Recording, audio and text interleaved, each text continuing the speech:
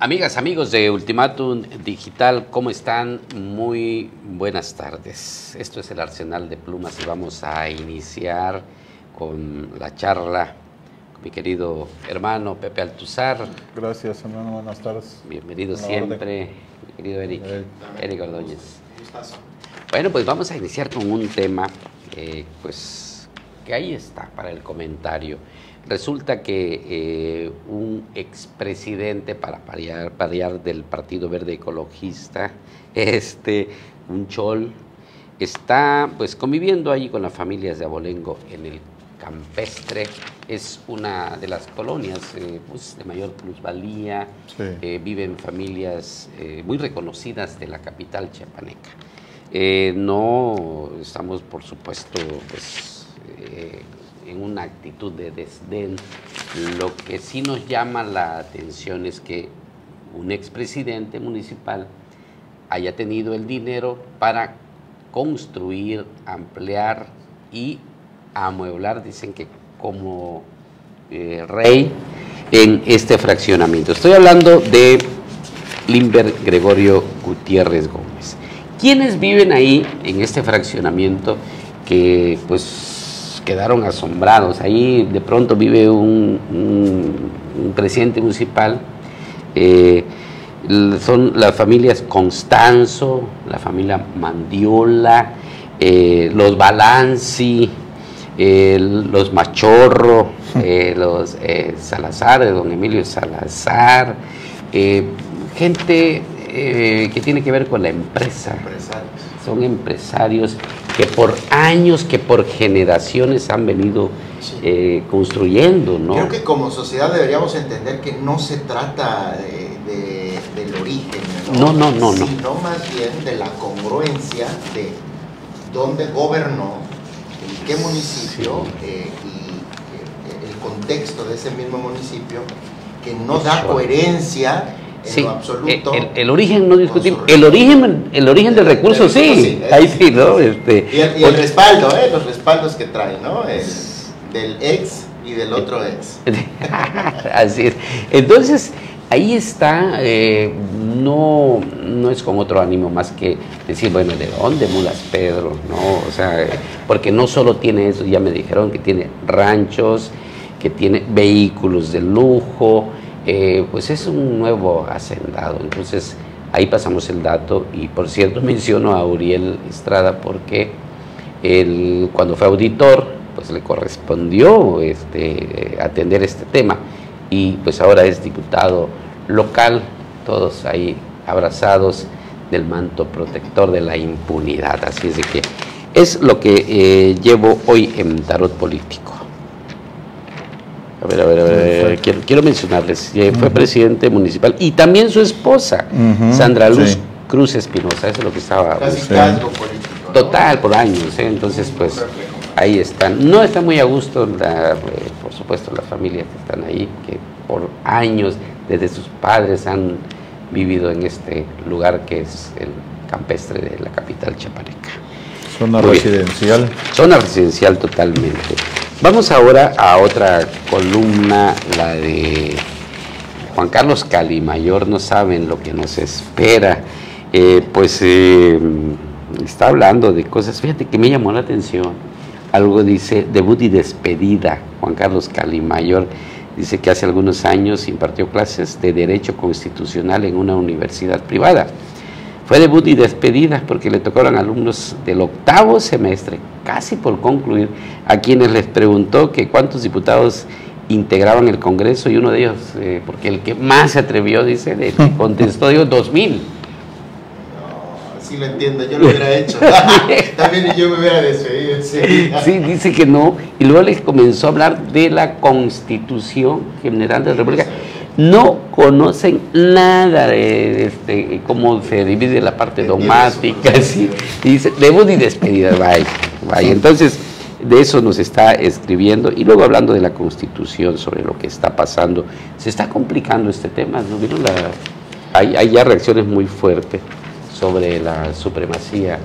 Y hay una confrontación interna, ¿no? Eh, sí. Dentro de los mismos trabajadores, aunque apenas el lunes que declaraban, eh, justamente mencionaban que había eh, un 90% de trabajadores del tribunal que estaban, del Poder Judicial de la Federación, que estaban de acuerdo en mantener la lucha, aun cuando ya se había ordenado el inicio de los descuentos porque no están realizando sus actividades, que no las están realizando porque se encuentran en plantón, eh, manifestándose, tomando las instalaciones. Eh, indican también que los, eh, los temas que por su naturaleza deben continuar están siendo atendidos y que no le temen a esto, pero sí le temen a la descomposición de, de, la patria ¿no? mexicana. Sí desde la desacreditación o acomodamientos a modo de la constitución política, ¿no? a modo, a merced y a los tiempos y ritmo que marca el partido gobernante. No, hombre, y fíjate, me parece que ya hay una este, postura de los ministros que dicen, ponen sobre la mesa las renuncias, pero que se cuide eh, a jueces, magistrados y los empleados trabajadores? Eh, están provocando, de hecho sí, sí se hizo saber en los medios nacionales y en la mañanera, que están eh, pretendiendo provocar una crisis institucional porque pues en ese terreno, independientemente de que sus beneficios por presentar la renuncia les van a ser otorgados, a diferencia de si concluyen el periodo y se tengan que ir.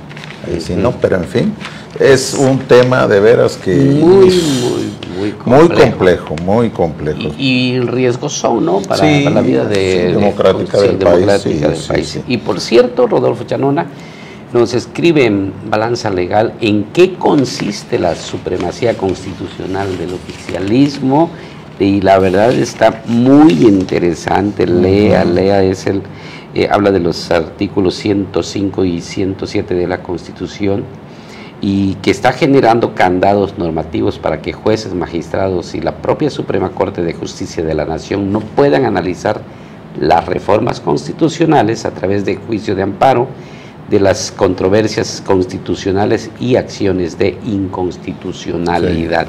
Eh, aquí desmenuza muy bien, fíjate, se ve que le, le entiende al tema, uh Rodolfo Chanona, y, además este sí lo, hace una narrativa muy fluida. Decía una de las manifestantes del Poder Judicial de la Federación el, lunes justamente, invitaba a la ciudadanía, a todos, a todas, a que nos diéramos a la tarea de investigar, de conocer de qué se trataba no solo su movimiento, sino más bien de las causas que defienden y las propuestas de ley. Justamente hablaba de un, tema de supremacía en, el país a través de estas reformas que se están proponiendo, pero me parece bien interesante a propósito de lo que escribe nuestro compañero que sí deberíamos todas y todos indagarnos, estudiarnos sobre lo que está eh, sucediendo para comprender la magnitud de estas reformas y de esta de este teje y maneje ¿no? que está dando el Ejecutivo o intenta dar sobre el Poder Judicial. Inclusive aquí, este, en el, retomando lo de Juan, Carlos, Calimayor, dice él, lo, lo, toma precisamente, es lo que se trató ayer y un poco hoy, ante la pregunta de los reporteros que insistentemente están sobre el tema. No es cierto que la Corte esté por encima del Poder Legislativo.